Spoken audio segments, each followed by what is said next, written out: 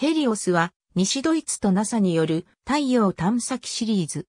ヘリオス1号とヘリオス2号が存在し、それぞれ1974年と1976年に打ち上げられた。製造は西ドイツ、打ち上げと予定軌道への投入は NASA が言った。すでに2機とも運用は終了しているが、現在も軌道上に存在し、人工惑星となっている。なお、ギリシア神話の太陽神、ヘリオスの名は、フランスの軍事衛星にも使用されている。ヘリオス1号は1974年12月10日に、タイタン EA によって、ケープカナベラル空軍基地から打ち上げられた。太陽周回の楕円軌道に入り、近日点は水星の軌道よりさらに内側にあった。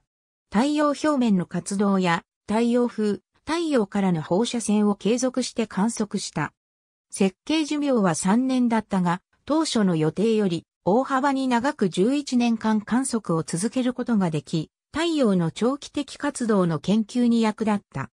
ヘリオス2号は1号機と同様、1976年1月15日にタイタン EA によってケープカナベラル空軍基地から打ち上げられた。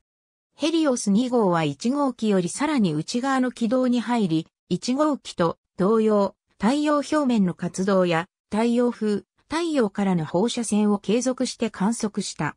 太陽フレアによるガンマ線の連続的に計測に成功し、また太陽の近くの微小隕石密度が地球周辺の密度より15倍高いことを発見した。1号機の後に打ち上げられたが、1号機より先に運用停止している。タイタン E への先端にヘリオス1号が搭載されている。ありがとうございます。